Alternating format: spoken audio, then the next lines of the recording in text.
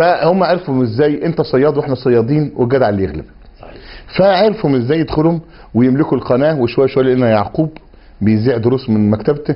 وبعد كده دخلوا ملكوا القناة وحولوا القناة حسينا إن إحنا وقعنا في آه، مخلب آه، هذه العصابة. القناة الأول كان ياسر نور جزاه الله خيرا آه، كان مدير ال- ال- البرامج ساعتها. وكان كنت أنا بشرح فيها الأسماء الحسنى. نعم.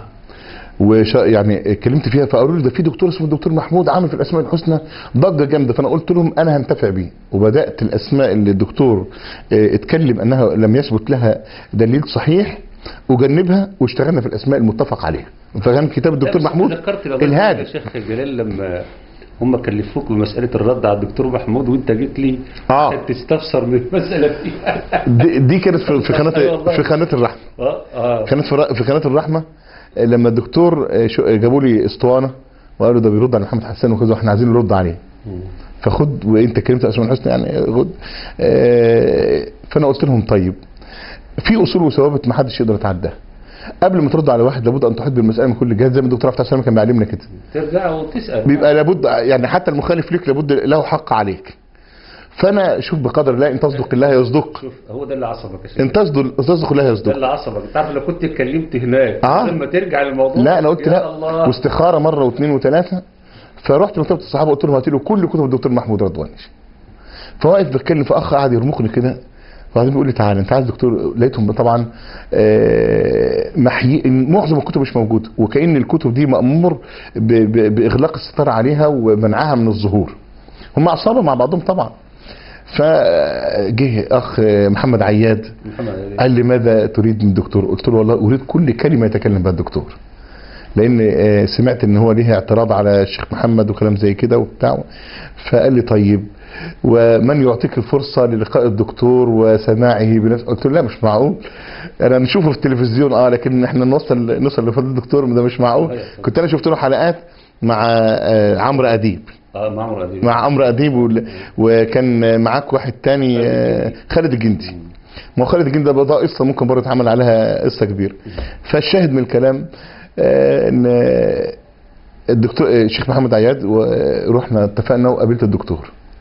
طبعا بقى أنا كنت ساعتها أي كتاب في الأسماء الحسنى في الشرح أو في تفسير أو كلام كنت بدها ارجع معاه.